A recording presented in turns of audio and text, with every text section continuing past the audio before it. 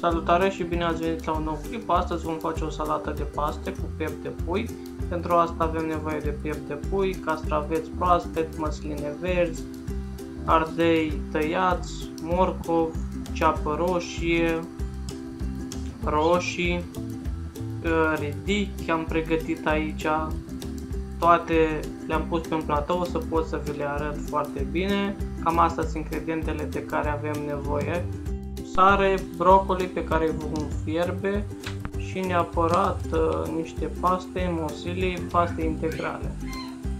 Am fiert brocoli și pastele, trebuie lăsate la răcit și la scurs până ajung la o temperatură normală, după care uh, le punem într-un vas sau într-un bol, în ce aveți, noi am ales un vas mai adânc, un vas albastru, în care am adăugat atât brocoli cât și pastele, alături de toate celelalte legume, ridichii, ceapă roșie, morcov, ardei, roșii, măsline, castraveți.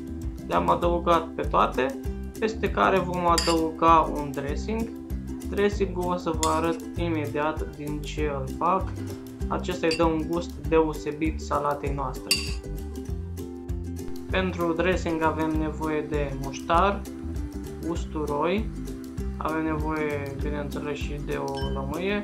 Eu am ales un muștar uh, mai calitativ, mărar. Noi am ales mărar la plic.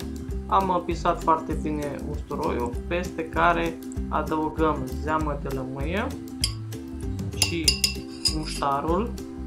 Vom omogeniza foarte bine ingredientele peste care am pus mărar și fulgi de chili pentru cei care vor un pic mai picant.